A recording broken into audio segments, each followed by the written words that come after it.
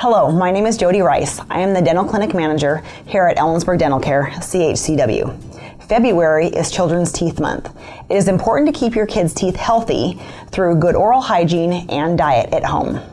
First, let's discuss the changes that begin in your mouth the minute we start to eat certain foods. Bacteria in your mouth produce dental plaque. This makes your mouth more acidic.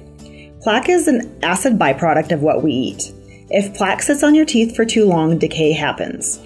All carbohydrates, along with acidic foods or drink, cause cavities if left on the teeth for too long.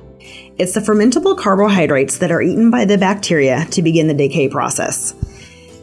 The decay process happens when acid is on the teeth. It also destroys the teeth.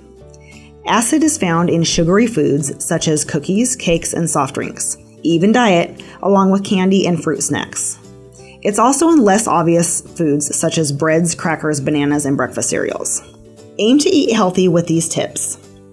Eat whole grains daily, such as brown rice and oatmeal, or whole wheat bread. Eat healthier vegetables, including dark green and orange vegetables. Choose fish, beans, nuts, and seeds, along with meats for your protein needs. Choose beverages and foods to moderate your intake of sugars. Drink lots of water. Always remember to brush and floss daily. Also, visit your dentist on a regular basis.